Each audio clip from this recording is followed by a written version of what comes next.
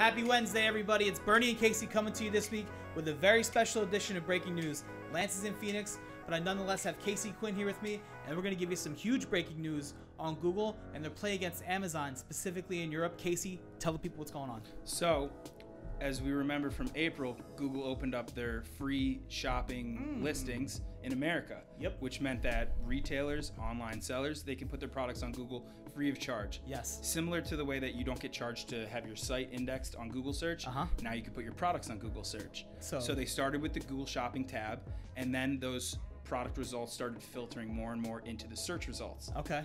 Now, Google's announcing that they're taking that party on a global scale. Wait a second. So you mean to tell me that if I am an e-commerce retailer here in the States, I can then sell my products in Europe? I believe so, and more so if you're a retailer in Europe, Asia.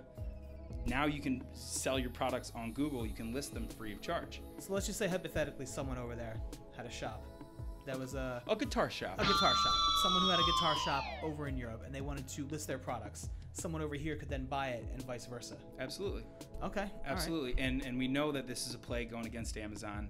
We know that Google is trying to take a bigger chunk of that e-commerce space from Amazon, They are.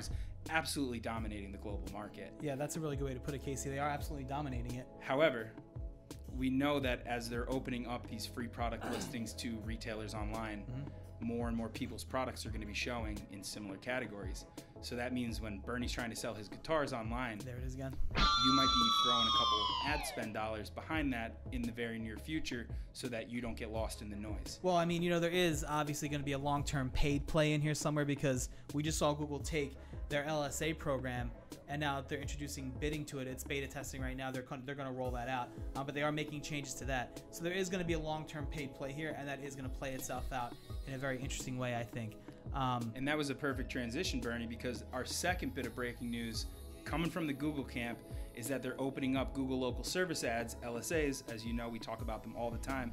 They're taking them to Europe. oh, so you can have local services ads in Europe now. So we've seen tremendous success with our clients in the local services Yes. program. We know that Google originally had it open to the home services space. They expanded recently into the pro services Mm-hmm. They did. space. Now in Europe, they're opening it for the home services space. So Now, Casey, you and I were kicking around this a little bit before we jumped on camera here. Um, there's something interesting about privacy going on there, right? Or uh, in terms of Europe and what Google's doing with the data and vetting. absolutely. So just like you can, uh, you got to get vetted here if you want to be in the local services ads. For instance, you'll get a background check. Anybody that's going to be in someone's house. Yep. Um, Google goes through a pretty extensive process of vetting their vendors that are going to be in their local services ads programs. Tell everybody about what's going on on the European So, side. so in order to get enrolled in Google's local services program in the United States, where it was originally rolled out, you had to be verified by a third party. Yep. So all licenses, background checks, that all went through a third party. Uh huh. We knew that it was like a two week or so process in Yep. order to get through. What we learned now is that with these 16 home services verticals that they're opening up the LSA program for in Europe, Yep. Google's taking it in house, the verification.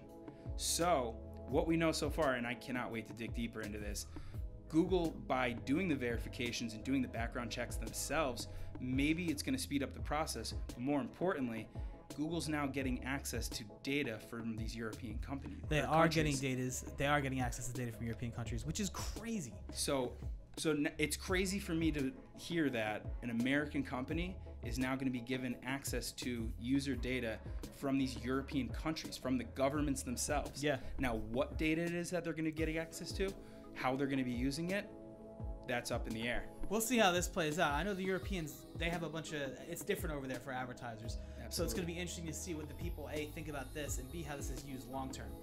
And Bernie, it's important to note that Google's opening up this local services program to Europe because over the past year, they've seen more than a 25% increase in local services searches in Europe. Wow. Um, and Casey, we do have one more piece of breaking news. In first place, the NFC East.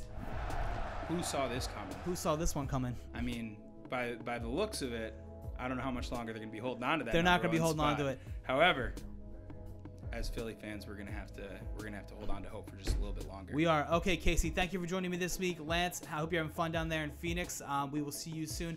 Everybody, I'll see you next week for the next edition of Breaking News.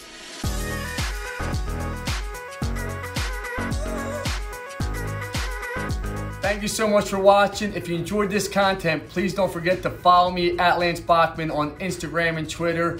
Follow me on Facebook at Lance Bachmann Digital. And every Thursday we drop a new podcast. Don't forget to listen to it. We're giving out great content. And remember this, this is the time to build your business right now. Let's effing go, everybody.